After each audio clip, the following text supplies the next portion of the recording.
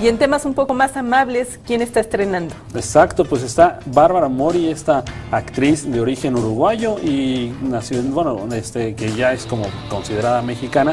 Precisamente ayer presentó su serie Dos Lunas, es una producción entre este, Cadena 3, obviamente, en nuestra cadena hermana, Mundo Fox y Argos Entretenimiento. ¿no? Esta es una serie, eh, que forma parte de una estrategia este, que, hicieron Cadena 3, Argos y, Mundo Fox este, para producir, creo que son 800 horas de contenido televisivo y que se podrán ver tanto en México como en toda Latinoamérica.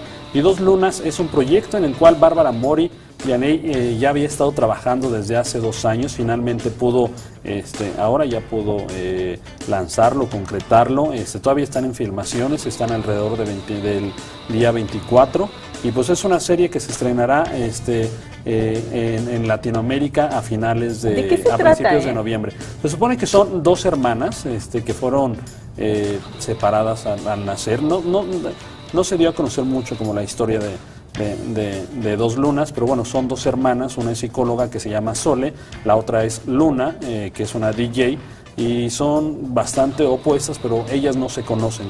Eran, bueno, se conocían cuando eran niñas, pero después de un accidente que estamos viendo aquí, imágenes, eh, se separan, eh, Sole piensa que Luna muere y pues así sigue su vida, ¿no?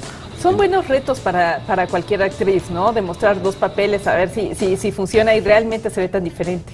Sí, la verdad es que sí. Este, Bárbara Mori dice que eh, realmente el papel que, los papeles que está interpretando este, un poco forman parte de esa dualidad del ser humano, ¿no?